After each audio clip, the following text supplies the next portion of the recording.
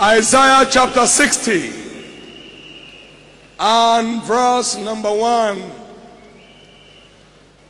Arise, shine, for thy light has come. Why did he say arise? Because darkness shall cover the earth. Verse 2 and gross darkness the people. But the Lord shall arise upon thee, and his glory shall be seen upon thee. And he said, and the Gentiles will come to your light, and they are kings to the brightness of your rising. That means by my light, I will make you more than conquerors among others. You will outshine your peers and become the envy of kings.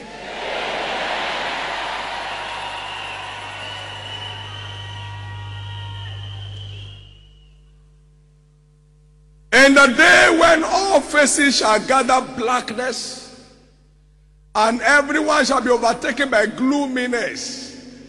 He said, Because you are operating by spiritual light, his glory shall be seen upon thee. So it is light that distinguishes you among men. And light is simply spiritual understanding of the way out. For the entrance of his word is what gives light. And it gives understanding to the simple. So light is simply Psalm 119 verse 130. Light is simply a spiritual understanding of the way out of where you don't want to remain. Spiritual understanding of the way out. Spiritual understanding of the way out. Spiritual understanding of the way out. August 26, 1986, 1987, sorry, 20 years ago. The Lord said to me in that hotel room in America, Arise, get back home, and make my people rich. It's a prophetic mandate to raise men who shall be more than conquerors financially. That was spoken to me 20 years ago. And 20 years after, there are many men and women, both on ground at Canaan land today and in the various nations of the earth, who are direct proofs of the validity of that mandate. What is the way out of the blackness of poverty and the shame of lack?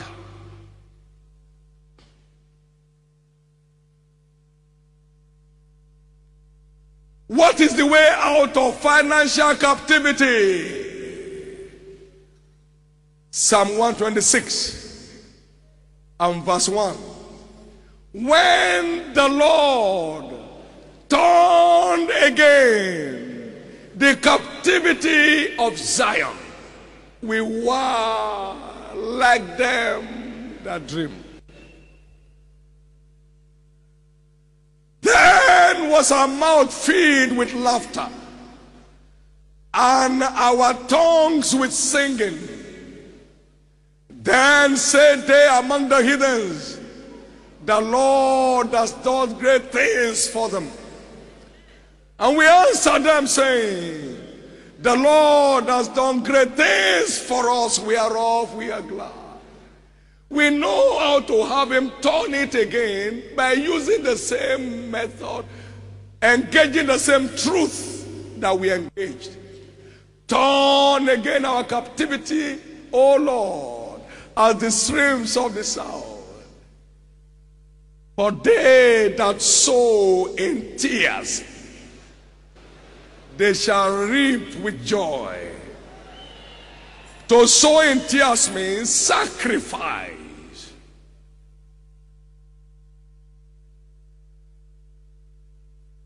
They that sow in tears shall reap with joy.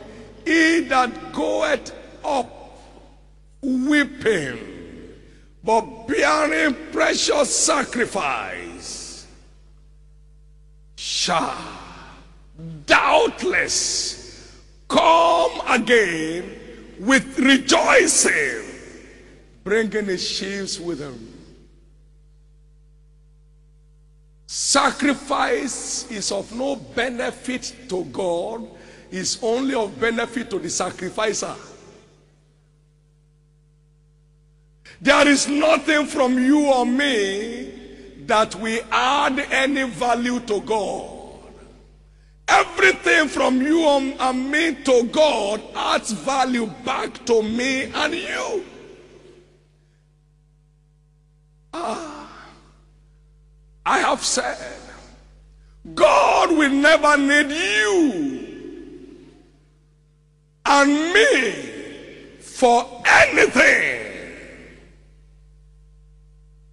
But you and me will need God for everything. If you don't understand this, you may mistake sacrifice for supporting God.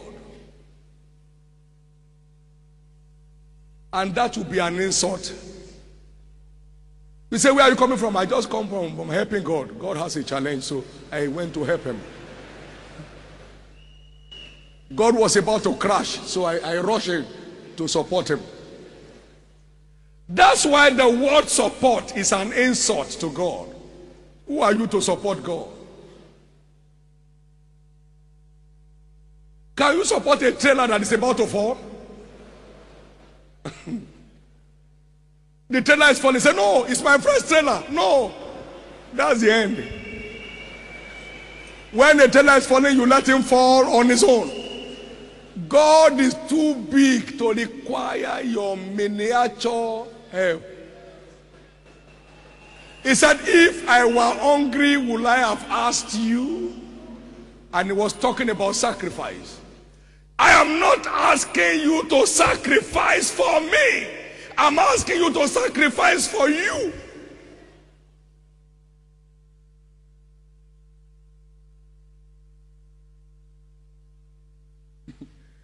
Hear this very interesting story. One day, the devil was influencing me to take a step that was contrary to God's plan. And my son Ajibade was there he was coordinating that negative arrangement. Amen.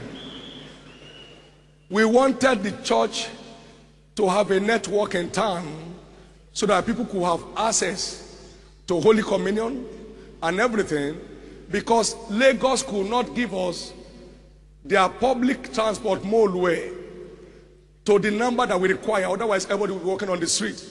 And no governor will want to see that kind of situation. So one day we asked for 100 buses. They say it's impossible. They can't give us more than 70. The government is concerned about how people walk on the road when we take buses. And I waited for God to give us a matching order. There was no order. And God came to me and said, My boy, did I tell you I cannot buy buses? Ah, I said, I've never thought of it. So one day I said, Hey, we are buying buses, a hundred buses. You want to be a part of buying the buses? Move to that classroom. Move away from here. Trek, trek to that classroom and wait there. And we took an offering that day and bought all the hundred buses at a time. Now listen to me. When we were going to buy the first aircraft, my son was here with me. We were in a seminar on Saturday morning, and I said, God just spoke to me that it's time to get the aircraft. We have not found the price. Oh.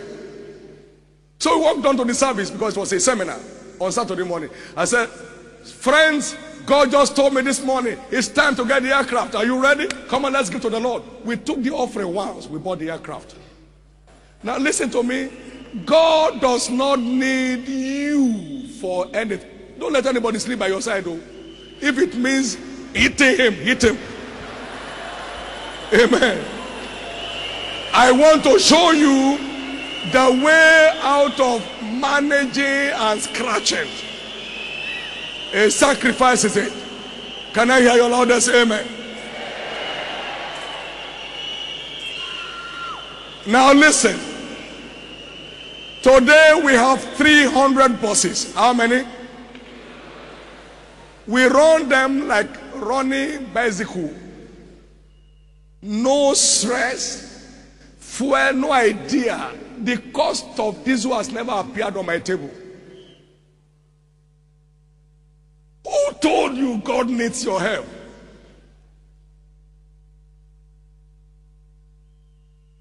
One day the Lord said to me, My son, give me that car.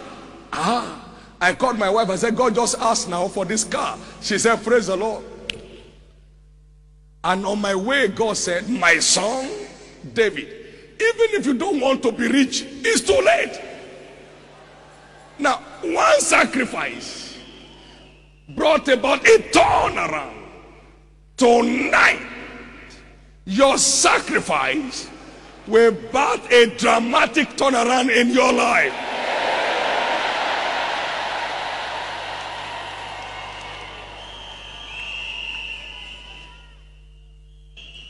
During our 25th year anniversary, the Lord ministered to me for us to see the 25 million seed sacrifice to another ministry.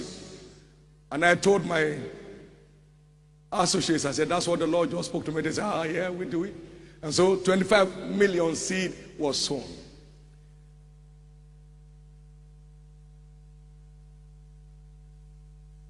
The level of visitations we have had, inexplainable. We have acquired over 4,000 acres of land behind your fence.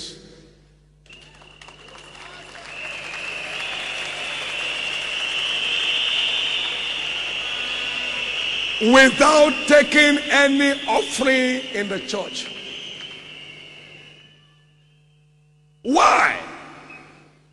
The first night here, there was 75,000 people outside. Why? The four days or five days of Shiloh, everything in the small Canaan land is under pressure. Why? We must create a tabernacle for God and habitation for his people. Now, listen to me. If God bought about 4,000 acres of property, and you know the cost of property here, without you, will he now be writing application and filling form for you to help him? They bought 4,000 acres behind you. Will they now be begging you to fence it? I told my uncle years ago when he said he was going to allocate me a, land and the other ones were very upset. I said, Don't worry, sir. Don't worry. Anybody who cannot buy land cannot build a house. Can't buy the land, you can't build a house. So cease sacrifice, particularly prophetic sacrifices, as we take by prophetic injunction at Shiloh as your opportunity for another turnaround. I'm not talking to poor people. I'm talking to rich people who will be richer. I'm not talking to small people. I'm talking to great people who shall be greater. I'm not talking to low people. I'm talking to high people who will begin to fly higher.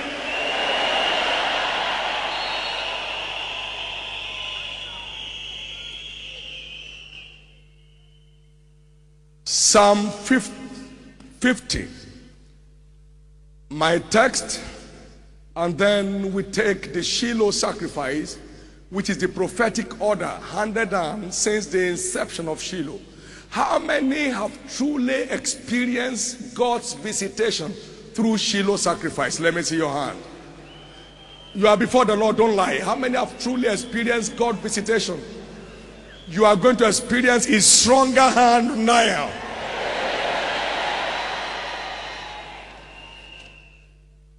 A sacrifice is not limited to material returns.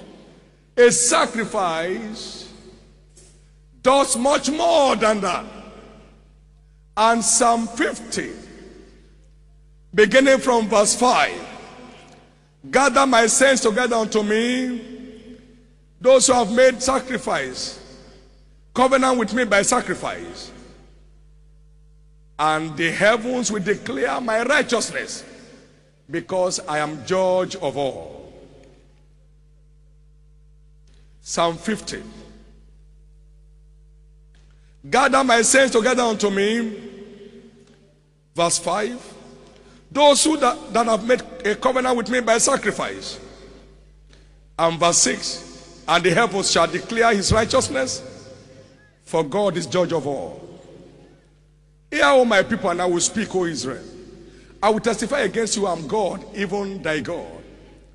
I will not reprove thee for thy sacrifices or thy burnt offerings to have been continually before me. I will take no bullock out of thy house, or he goes out of thy field. For every beast of the field is mine, the cattle upon a thousand hills. I know all the fowls of the mountains, and, and the wild beasts of the field are mine. Verse 12 If I were hungry, will I have asked you? For the world is mine and the fullness thereof. Will I eat flesh of bulls or drink the blood of goats? Will God ride your car? Will He build on your land? Will He spend your currency? Does He have a bank account where He will drop your check? Hear what He said. Offer unto God thanksgiving and pay thy vows unto the Most High. And verse 15, everybody let's read verse 15 together. And call upon him in the day of trouble, I will deliver thee. So the sacrifice I'm asking you to give is for your sake. He said, Don't think you are impressing me with your sacrifice. You are adding color to your destiny by your sacrifice. You are establishing my, my security in your life in the day of trouble. You know, he said, The blessings of the Lord it maketh rich and it adds no sorrow. So, what sacrifice does is to secure the blessings of God in your life. And you will call upon me in the day of trouble, and I will deliver you, and you will glorify me. Do you know that after this sacrifice, nobody will have any reason to pity you again. Everyone will be saying the glory of the Lord in your life.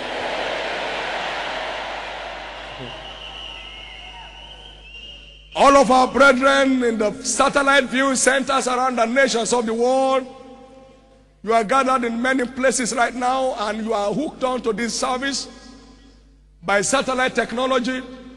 I'd like you to understand that one way your captivity can be torn is via the truth of sacrifice. Sacrifice. It is not a means of helping God. It's a spiritual device for helping you. Sacrifice has no value adding to God. It's not adding value to church. Particularly your church. Adding no value to it. But it's adding value to you. God can never be in trouble. And even if you got into trouble, you are too small to be called upon. To say, oh, my son, I'm in trouble. In my place, they say, kò lè burú láyé kí bàbá ní tó wà lọ́rùn. It can be so bad on earth that a man will be saying, I put this in the hand of my son who is in heaven. You don't transfer trouble from a father to a son. It's a son who transfers trouble to the father. He said, You shall call upon me in the day of trouble because one day is coming. You will need me. So sacrifice against the rainy day. So that when that day comes, you see me. You will not be left alone in the day of trouble. This prophetic psalm fully explains the reason for vows and sacrifices. Psalm 126 talks about the benefits. Psalm 50 talks about the security. Sacrifice opens the door of abundance. Sacrifice secures the abundance against sorrows and molestations of the devil.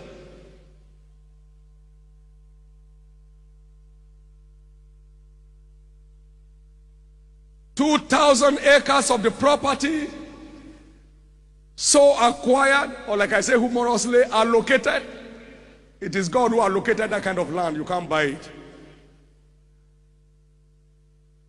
Has been set apart as Shiloh Camp Campground.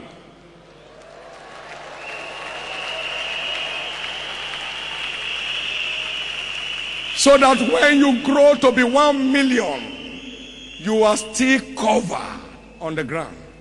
Can I hear your loudest amen? So that when it is fully developed, you will not be under the sun in any session of the meeting.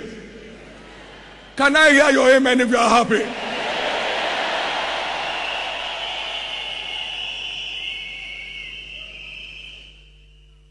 There was a plague in the land.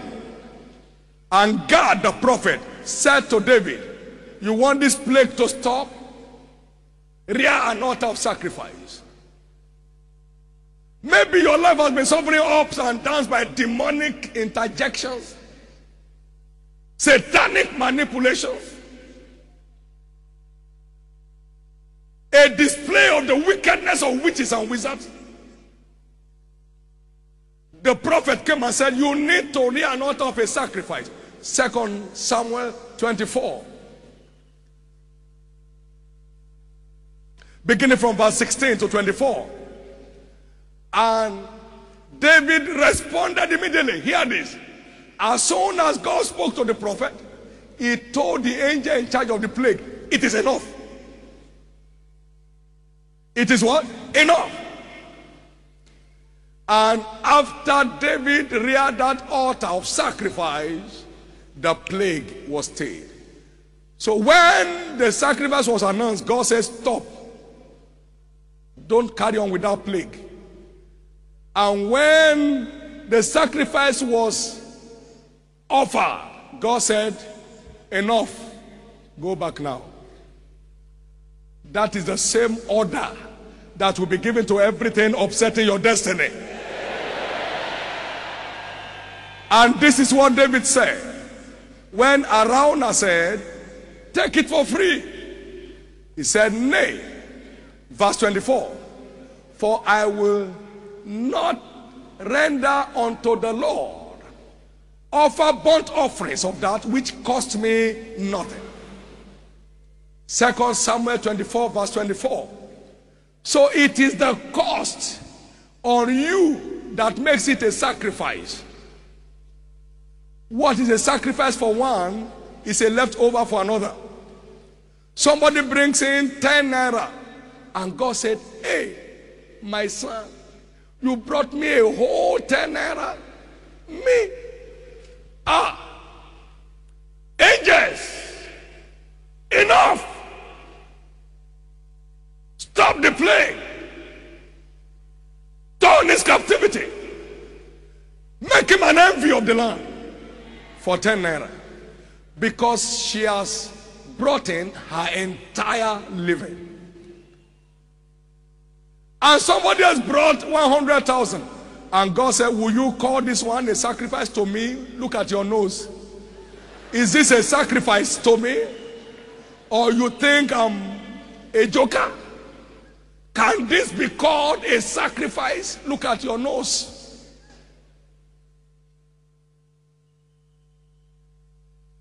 So it is the cost that makes your burnt offering a sacrifice, not the volume. It is not the volume. I am a product of the validity of the covenant of sacrifice. During the time of my wife's ordeal, one of the forces I engaged in on her behalf to stay the plague was very crazy sacrifices. Crazy sacrifices. You had one of my sons who gave a testimony. They were giving sacrifices on behalf of a child that is to be born. And so the forces blocking the child to be born for eight years was cleared of the way. It's another time for you to experience yet another turning. God has turned your captivity before, He said He will turn it again.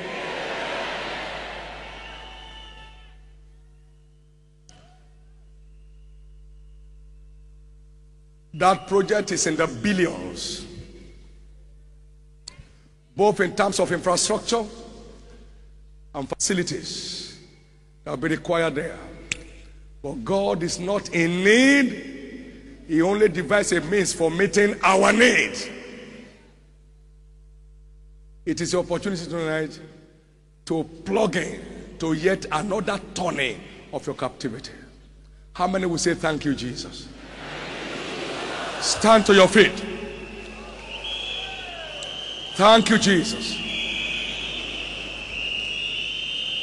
What do you think will be acceptable as a sacrifice from you by the Lord?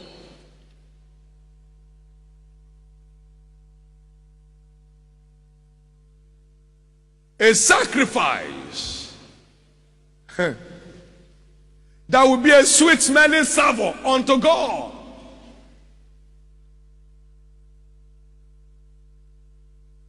If I ever call a sacrifice what I used to call a sacrifice 20 years ago, it would be an insult on God.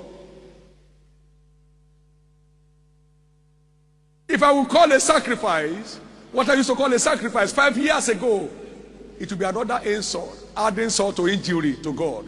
Because He has blessed me beyond where He was five years ago. Stop mocking God. Let us now demonstrate our zeal for God as we lift up our two hands to heaven and thank Him for the privilege of another altar of sacrifice. Go ahead.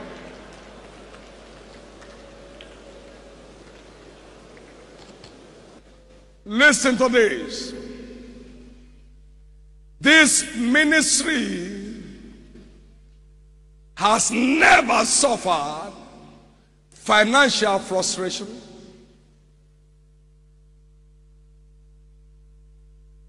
By reason of the light that this mandate is privileged to carry. From this night, the same God of Abraham, Isaac, and Jacob becomes your Jehovah Jireh.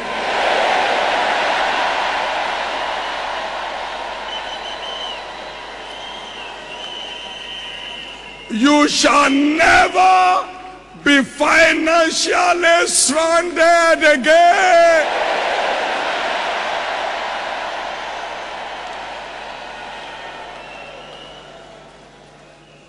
When we were to begin our university mandate, we took heavy amount of dollars and went to lay sacrifice in a university that we admire outside the country. When this sacrifice was placed in the hand of the president of the university, he was confused. He's never seen that kind of volume from a black continent before.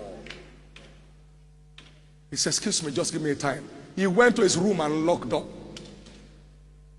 He couldn't stand the volume. Today we run Covenant University like running primary school. By virtue of a turning, a turning, a turning. There's a turning for your family, your business, your ministry tonight.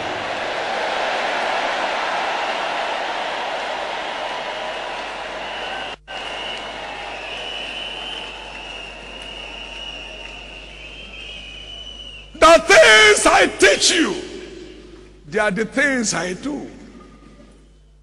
There's never been a time of sacrifice in this church where God was looking for my own. It's always there. I knew where my sacrifice started from in this ministry. I knew where it moved to after four years, after five years, after 10 years, after 21 years. Can I ever call a one million a sacrifice to God today? It will, he will slap me. Can I call five million a sacrifice to God today? He will say, Stupid boy, get out of my sight. Why? His blessing on me has left that level.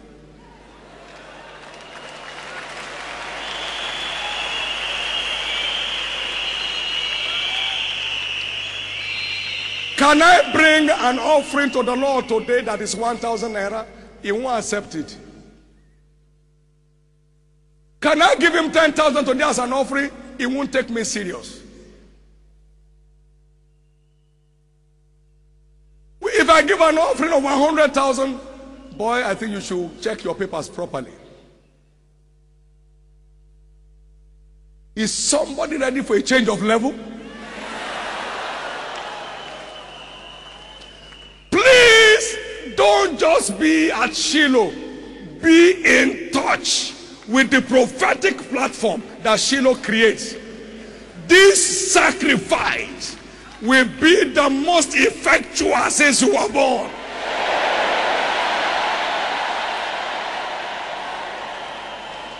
There is nothing new about lands, about houses. Even in Acts of the Apostles, they were given lands, they were given houses. There is nothing strange about television. God won't watch television. A sacrifice. Somebody said, I carried my television with tears and I drop it. You heard the testimony here. I said, okay, who is watching the television? Is it me? When I get home at 3 a.m. every day, is that when they watch television? And everything in that family turned. And they became a house owner. Everything turned. Something will turn that nobody can deny in your life.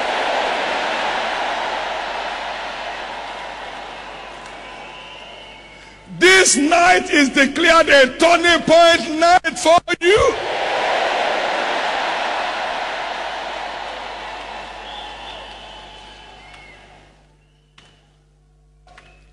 Whatever sacrifice God has laid in your heart for the turning of your own captivity, either you are giving it once at a time or you are giving it on monthly basis, it is left to you between you and God. Get seated. Let the ushers pass on to you a piece of paper each. As our custom is, ushers move like lightning. Move like lightning. Don't move. Satan, I stand in my prophetic office and I declare you helpless regarding everyone gathered at Shiloh 2007 in the name of Jesus.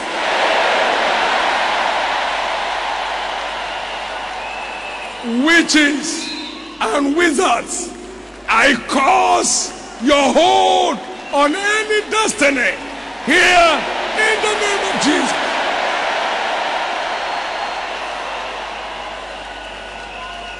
Whatever followed you here from home,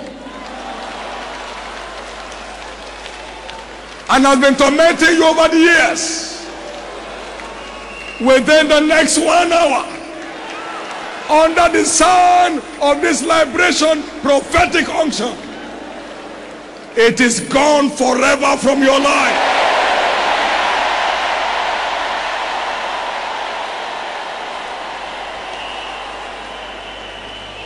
Somebody has waited on God for upward of 25 years for a child. You got your miracle now. Shiloh 2008. You are coming with your miracle babies.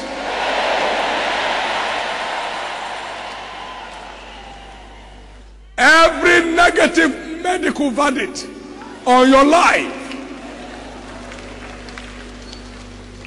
is converted to a testimony in the name of Jesus.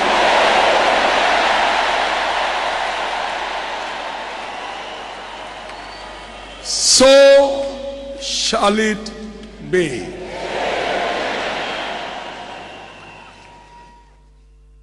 I'd like you to know that the next one hour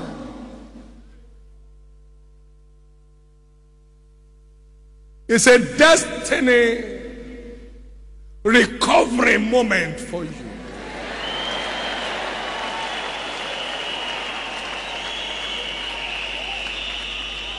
Whatever has been denied you as your right in Christ till now shall be restored back to you now.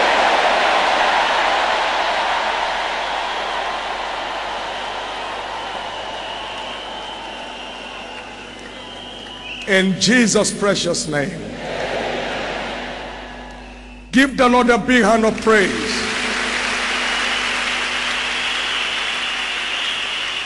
And be seated, please.